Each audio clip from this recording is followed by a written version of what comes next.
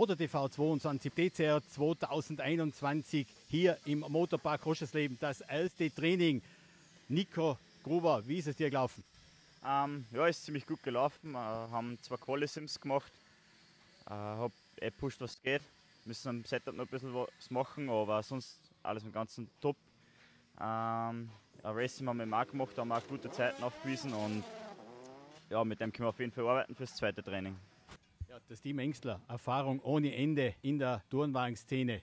Da kannst du auch sehr viel Nutz draus ziehen.